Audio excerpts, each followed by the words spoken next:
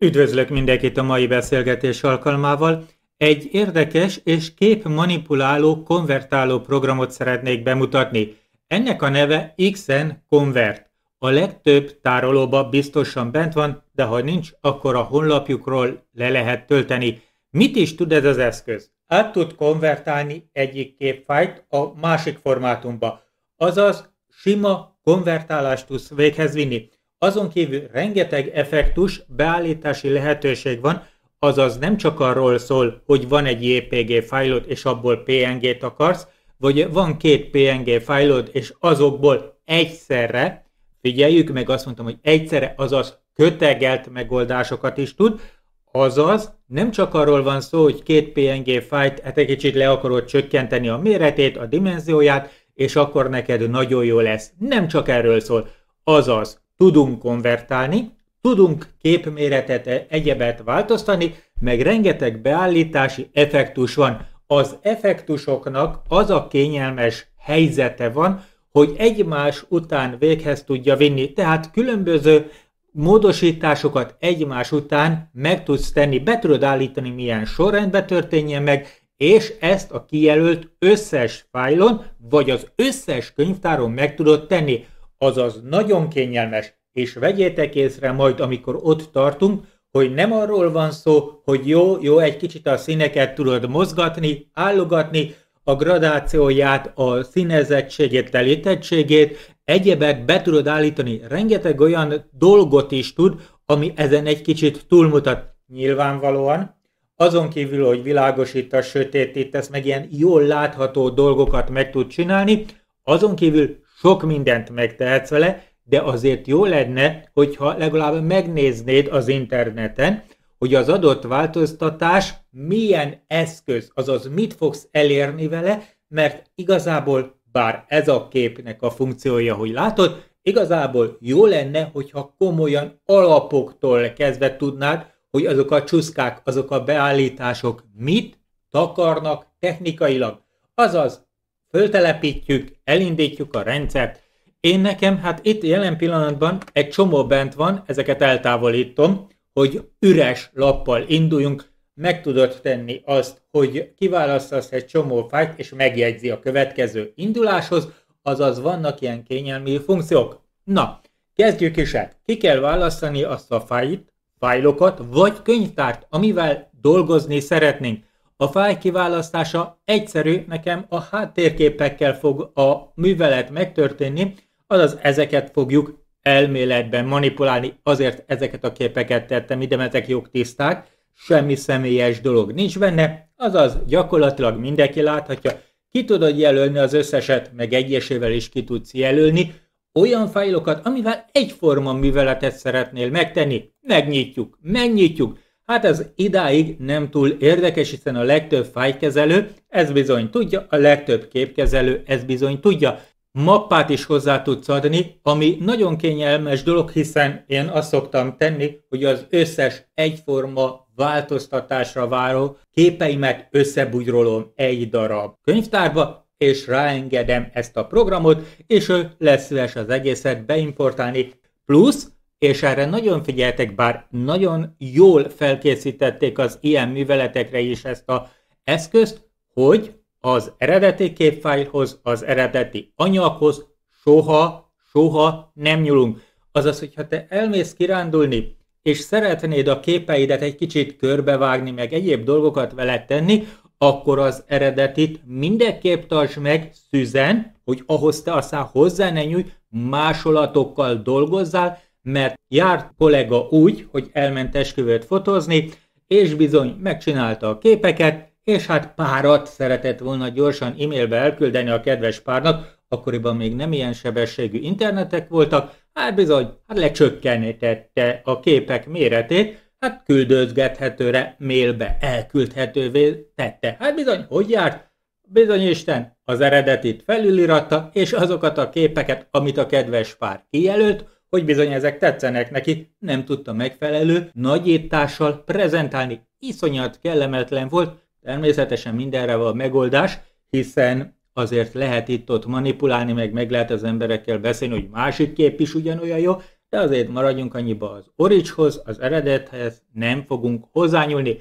Azaz, nagyon-nagyon kényelmes helyzetbe vagyunk, behoztuk az összes képet, és ezzel csinálunk valamit. Előtte azért nézzük meg, mert nagyon ügyesen csinálták ezek a fiúk, akik készítették ezt a programot. Van pici miniatűr, hát egy kis megjegyzések vannak, különböző módon, bár most nem olyan szép lista kinézete van, de méret szerint módosítás dátum etc. etc. etc. szélesség szerint tudjuk rendezni őket, tehát hiába van ikon kinézet, tehát miniatűr kinézet, attól függetlenül a rendezés, a felsorolás megváltoztatása működik. Hát vannak a miniatűrök, ez egy kicsit nagyobb, jobban látható, és vannak a nagy miniatűrök, ahol bizony már elég szépen látjuk a képet. Ha valamit el akarsz távolítani, vagy mindet el akarod távolítani, megteheted. Szuper!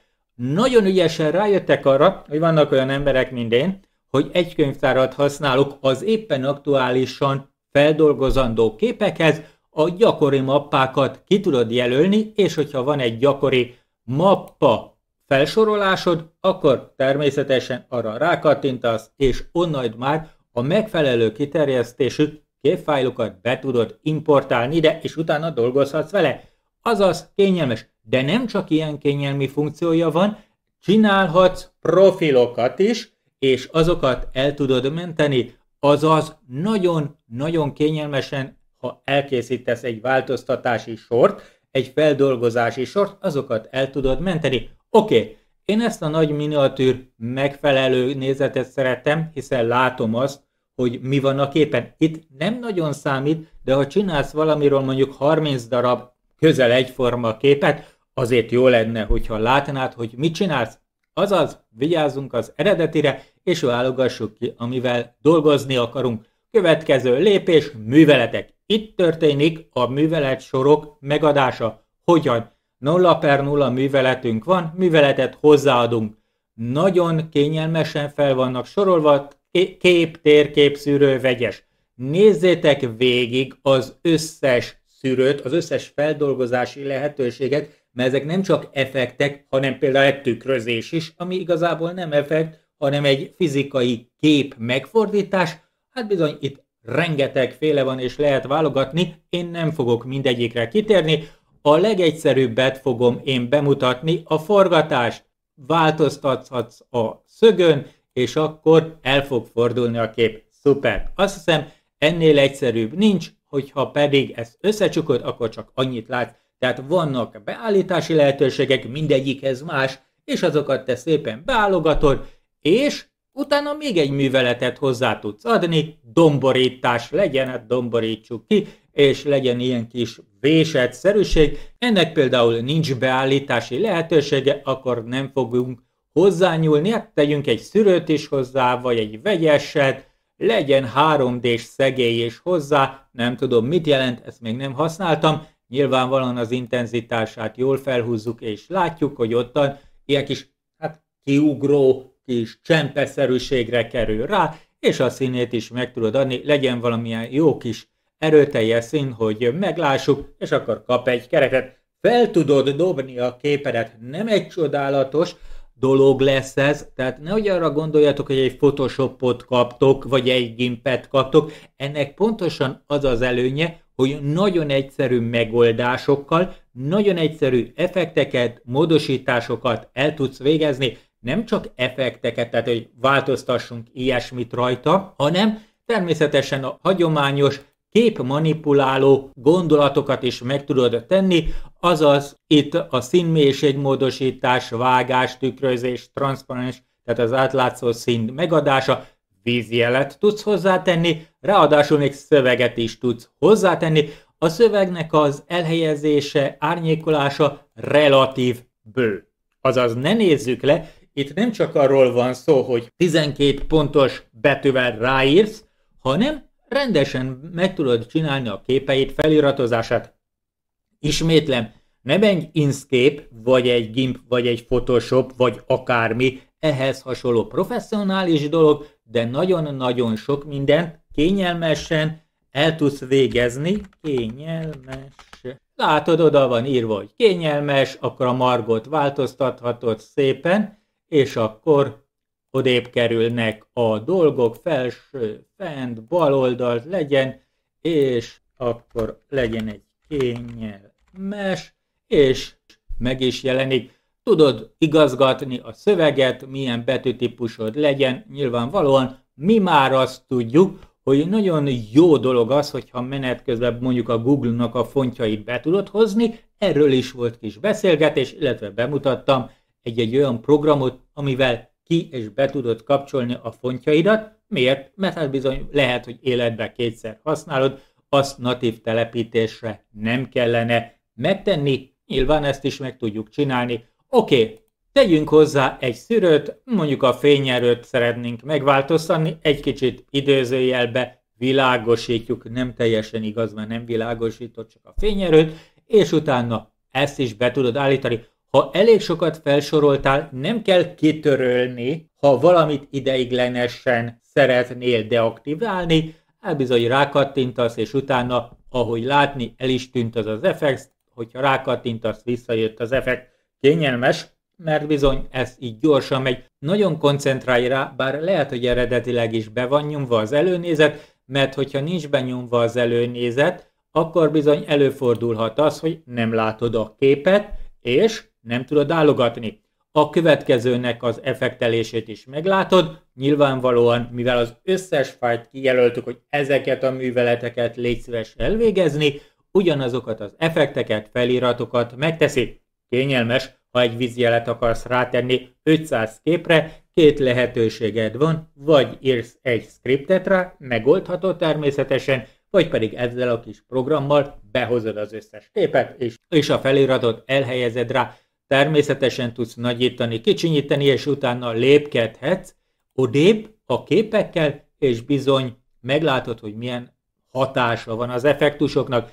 Az effektust magát el tudod menteni, XBS kiterjesztés lesz az adott könyvtárba, hogyha összejön egy olyan megfelelő, teszem azt a céges logót szeretnéd az összes képre oda tenni, vagy egy vízjelet szeretnél oda tenni, vagy van egy sorozat képed, amelynek az összes beállítását meg szeretnéd változtatni, azt itt természetesen megteszed, és lemented ilyen script-szerűségbe, és utána a következő szériára is rá tudod húzni.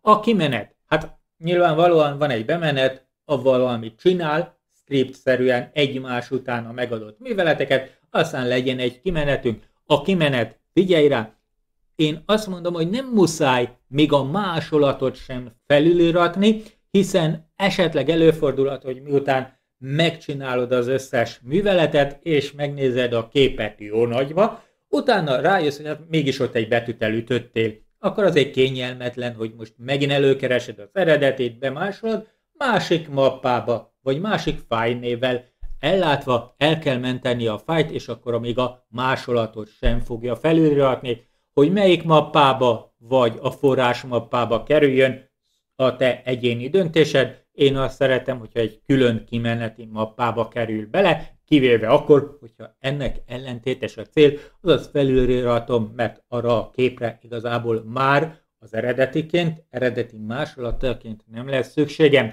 A fájnevet szépen meg tudod adni. Van egy-két ilyen beállítási lehetőség, amit hát össze tudod a fájneveket hozni, a beállításokra kattintva pedig a kimeneti fáj típust tudod beállítani.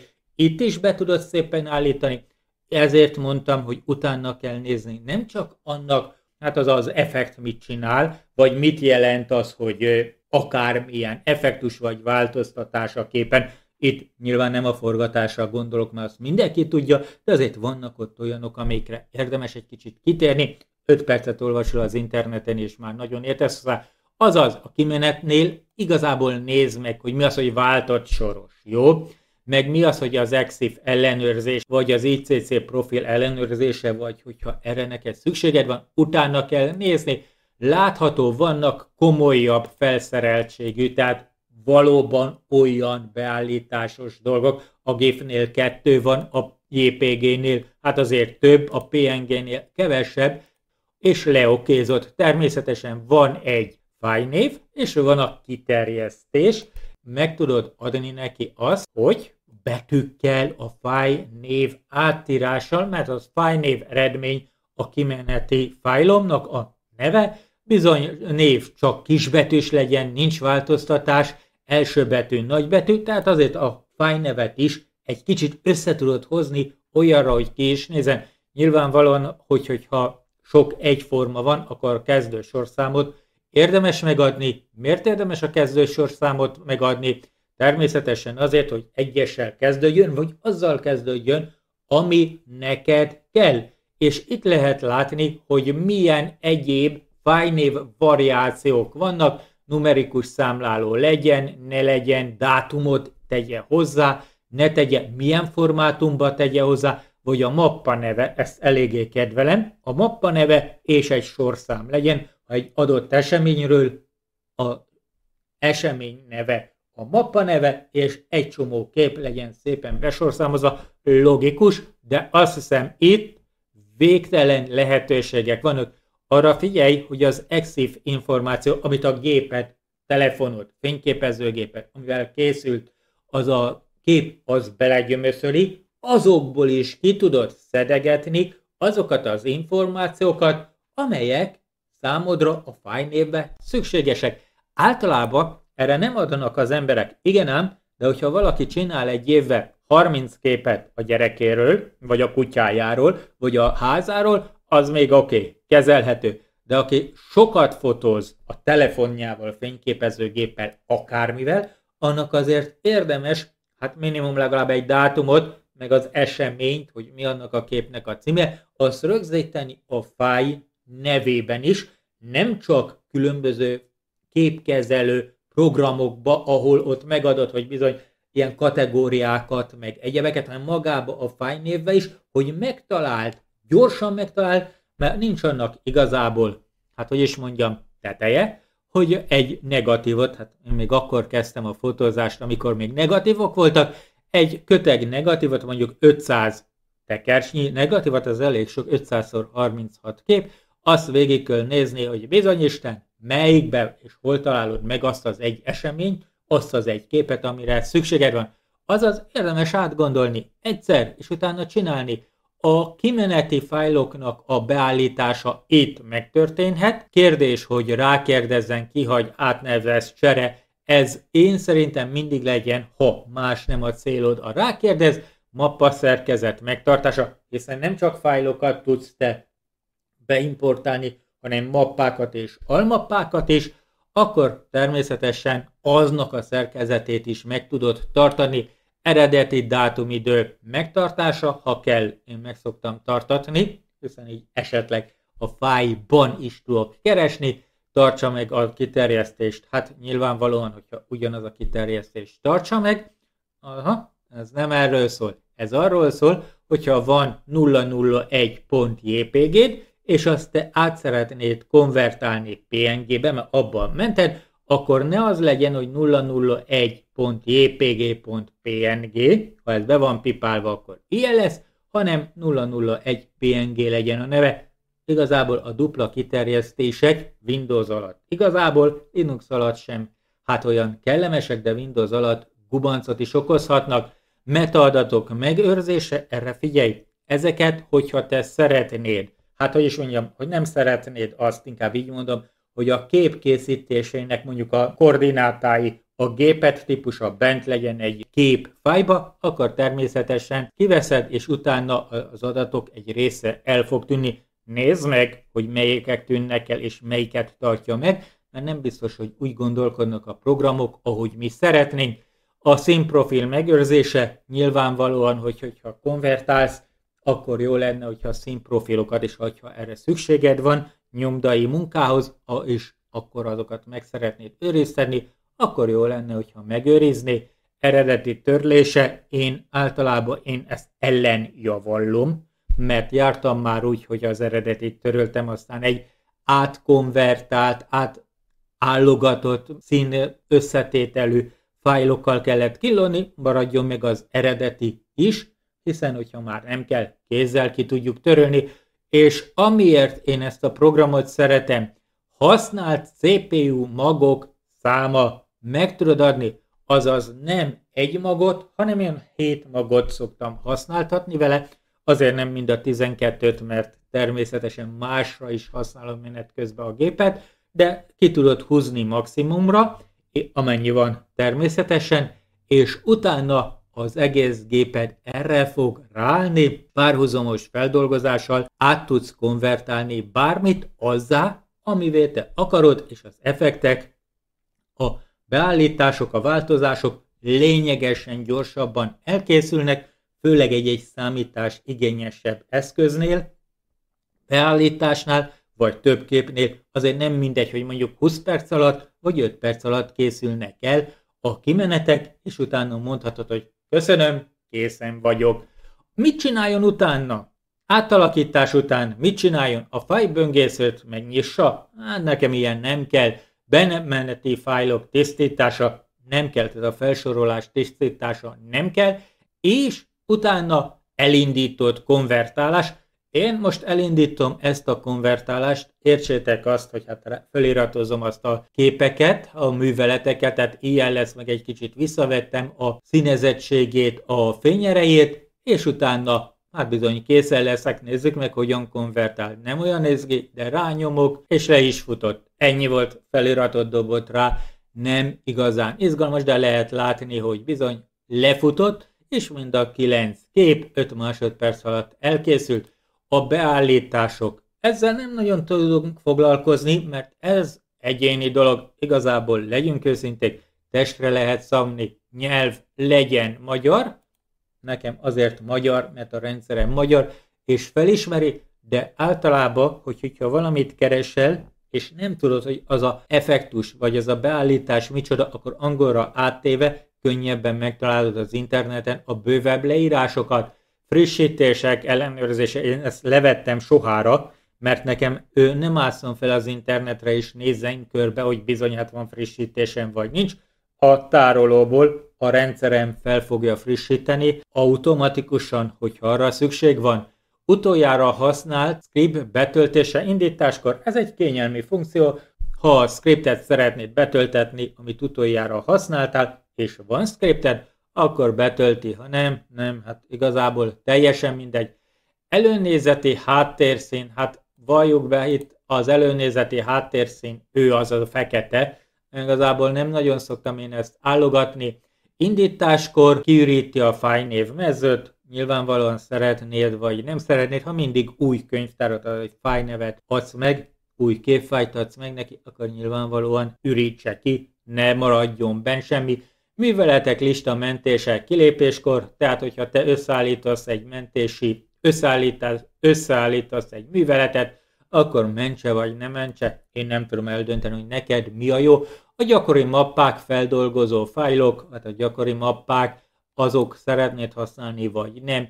Előző bemeneti fájlista helyreállítása, akarod vagy nem, eldöntöd. Képek forgatása EXIF információk alapján én ezt azt javaslom, hogy mindenképp tegyétek meg, hogyha te elfordított telefonnal, géppel fotózol, ő vissza fogja billenteni, illetve hát a beállítás szerint be fogja állítani, hogy álló vagy fekvő képed legyen. Ez bizony kényelmes. Én azt szoktam csinálni, bár ez megint csak egy technikai dolog, és a programhoz semmi köze nincs. Én ezt az információt törlöm, és ha kell, elfordítom a képet, tehát a legegyszerűbb módszer erre az, hogy átkonvertálod a képet, átállítod a képet álló vagy fekvő formátumba, és akkor már mindenhol, ha te állóra állítottad, álló lesz, és nem az EXIF, tehát a gyári fényképezés kori info fog megmaradni, hogy ez álló vagy fekvő. Miért? Mert vannak olyan programok, vannak olyan webhelyek, vannak olyan képnézegetők, amik sajnálatos módon az EXIF beállításokat nem kezelik, és hát egy álló kép, ahol egy két ember áll, hát hogy fekvőbe, hát bizony elég hülyén néz ki, nem? Hát bizony ezért én át szoktam kézzel fordítani, állítani a forgatást, és, és utána már álló lesz, akárki, akárhogy szeretné, az álló lesz, nem a program dönti el, hogy bizony hát állónak kéne lenni, formátumokat be tudod állítani, a kamera beállítására. Figyelj, hogyha ilyesmit használsz. A beágyazott, előnézett félméret, teljes méret, arra hát bizony jó, hogyha oda nézel, hogy mi van beállítva, mert elég hülyén tudnak itt megjelenni a bemenetnél, különböző rosszul itt megadott értékek, beágyazott színmátrix használata, nyilvánvalóan a professzionális kamerák több színmátrixot beállítást kezelnek, bizony előfordulhat, hogy nem azt szeretnéd, vagy éppen azt szeretnéd, automatikus fehér egyensúly, ez nem biztos, hogy mindenkor, mindenhol érdemes használni. Én általában beállítom, ha nem tetszik, kikapcsolom, automata fényerő, használjátok, jó? Ha nem professzionális munkára letöltött képekkel dolgoztok, ez így jó. A fényerő, a vörös skálázás, a kék skálázás, az maradjon egy-egy-egyen, mert így lesz jó olvasási hibák kihagyása, hogyha rossz a fájl, vagy a merevlemezet, inkább a rosszul másolt fájlokról van szó, vagy rosszul elkészített fájl információk tárolásáról van szó, akkor most hagyja ki, vagy killódjon vele. Én az olvasási hibákat kiszoktam hagyni. A PDF-ek egyebeknek a beállítási lehetőségeit itt meg lehet adni, általában az alapbeállítás jó. Oké, okay. a névjegy. A névjegynél észre lehet venni, nem a névjegynél, hanem hogyha ide kattintasz, hogy bizony ők mit fognak neked mondani, mindjárt megkeresük leírása, itt megvan, és pénzt szeretnének ezért a programért. Arra figyeljetek, hogy természetesen, hogyha te úgy állsz, és szereted ezt a programot, és örömmel használod, és ne, tetszik neked, és rászánsz 15 eurót, akkor érdemes kifizetni a licenszért. De nézzétek meg, az XN Convert ingyenes, nem adware, tehát nincs benne hirdetés, nem spyware, néven biztosít magán, tehát neked, ha magánember vagy, vagy oktatási célokra, beleértve a non-profit szervezeteket is, tehát egy iskola nyugodtan használhatja, egy egyetem nyugodtan használhatja, ha élvezi az X-Convert használatát, bátran segítsen a fejlesztőnek egy kis adományjal. Tehát, hogyha tellik, akkor érdemes egy kicsit hát elismerni a munkájukat, és látható, hogy van Windows, Mac és Linux. Kétféle formátum van, arra figyelj 32 vagy 64 bites, az nem mindegy, hogy melyiket használod, és megnézheted a változási naplókat, hogy mikor és hogyan, és miképp mit változtattak rajta a legfrissebb 19. november 21-i, ami gyakorlatilag majdnem azt jelenti, hogy egy éves.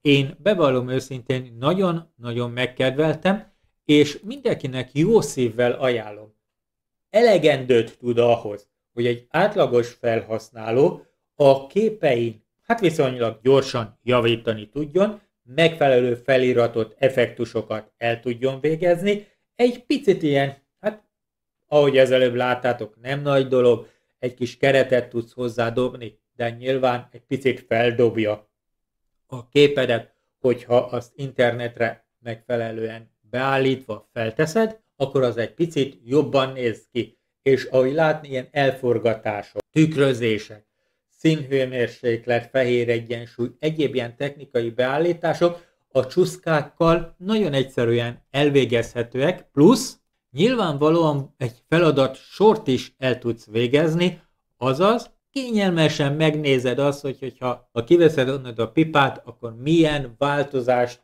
tudsz visszavonni, illetve egyértelműen, illetve természetesen az összeset is törölni tudod, azaz kényelmes, és nem, ismétlem nem kettő effektus van bent, vagy kettő beállítási lehetőség van bent, hanem elég sok. Láthatóan a kép kinézetét, technikai kinézetét, színhőmérséklet, gradáció, gamma értékek, egyéb ilyen technikai dolgokat is meg tudsz változtatni, meg vannak szépészeti beállítási lehetőségek, meg egy kis szövegezési lehetőség, plusz természetesen, ami sokszor jó, bizony a vízjelet is rá tudod tenni, tehát egy stabil feliratot vagy képet rá tudsz illeszteni a megfelelő helyre.